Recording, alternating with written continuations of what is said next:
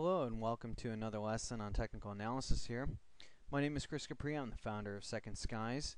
Today we're going to be talking about using the RSI or Relative Strength Index to improve our trading. The RSI was developed by J. Welles Wilder in 1978 and it quickly became a popular indicator measuring uh, general overbought or oversold levels for a pair. This is kind of significant for us to know when a pair or stock or commodity is hit an overbought or oversold level because it tells us that if the order flow is heavily skewed to one side, eventually those either buyers or sellers are going to have to take profit and exit their positions, or there's just going to be no new capital coming into the market to be able to push that pair in one direction, thus indicating a potential swing or reversal point. The RSI is pretty simple in its design. It measures the magnitude of the pairs or price or stocks decline against its gains or its gains against its losses. And it converts this into a number that is based between 0 and 100. The most common time period used for the RSI is 14 periods. So whether it's an hour chart, daily chart, or monthly chart, it's either 14 hours, days, or months, depending on whatever time period you're using. And what it does is it displays itself as a single line. So it's very simple in design. An overbought level is usually measured by 80 or sometimes 70 reading and above, and an oversold level is often denoted by a 20 or 30 reading or below. Let's take a look at this on a chart. Here we have an example of the Euro to US dollar on a daily chart. We can see down here this little yellow line represents the RSI and how it measures the gain in pips or the advances in pips to the number of decline in pips. And this other small lines right over here represent the overbought and the oversold levels, giving us a relative clue as to when the pairs reach this overbought or oversold status. The main or simple strategy or direct strategy for using the RSI is waiting first of all for it to hit an overbought or oversold reading. Then once a pair or stock or commodity has hit this overbought or oversold reading, we want the line to cross back over towards the middle.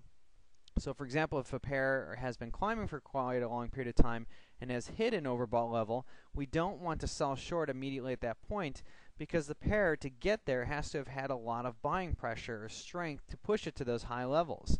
We want to wait for the time when it crosses back down uh, into the middle or towards the middle of the chart there. This tells us that the sellers in this case have now taken control they uh, were able to change the reading in the RSI and they were able to change or they are likely to going to change the direction in the chart based on the measurement of the RSI. Here's another example of how this works out. Here's the pound US dollar on a daily chart and we can see the pair has been advancing for quite a long period of time here, reaching to about a 207 uh, figure, while the pair also hit uh, overbought levels well before that. Notice how the pair continued to climb as the pair hit the overbought region. It was only when the RSI crossed back over the overbought line down towards the middle that the pair really sold off. So this really gave us a clue. If we were long, it could have kept us in the trade a little bit longer, but letting us know to take profit at a certain point soon. Or if we were looking to sell short, we could wait for this to cross over and then sell short, thus getting into a really good position on this short trade.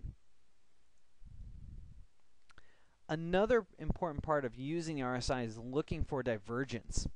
Divergence is when the RSI indicator or line moves in an opposite direction of the price action. So if the pair is falling in the price and the RSI is increasing, then we have divergence. And it's the same for the top side. If the pair is continuing climbing to the upside, but the RSI is declining as well, that should be telling us, again, another clue either to take profit if we're long, or to look for a short signal coming soon because a reversal is about to happen. This is absolutely significant. It's kind of like an additional uh, cue to our potential buy or sell signal. Taking a look at a great example of this, the Kiwi yen on a daily chart in 2007, the summer of 2007 was gaining at a very strong pace with only a little bit of consolidation. But notice how the RSI, after hitting the overbought region, wasn't gaining any new ground. This should have given us a really good clue suggesting that this pair is probably going to reverse sometime soon. And notice when it has uh, uh, an attempt to get above the overbought level, but it just isn't able to do it, is when the pair stops and then a sharpward uh, fall in the RSI also constitutes a sharpward fall in the pair.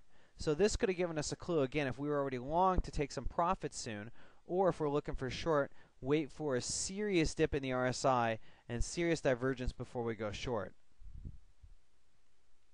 In conclusion, to sum it all up, the RSI is really beautiful because it's a simple indicator that gives us the overbought and oversold readings. And even though we don't have access to order flow in the currency market, this gives us a relative clue as to whether the buyers and sellers are not only in control but in a very strong favor or not. Because of the overbought or oversold readings, it gives us a clue to a pending potential reversal or swing point for us. And that using that in combination with the divergence strengthens the case for a particular reversal or for any reversal we are looking to trade. And so because of this, the RSI has become a very, very powerful and popular indicator, also because of its simplicity in giving us swing or reversal points for any particular pair. So that sums it up for our current lesson on RSI. If you have any questions or like further or more advanced instruction, feel free to email us, info at 2ndskies.com, or visit our website, www.2ndskies.com.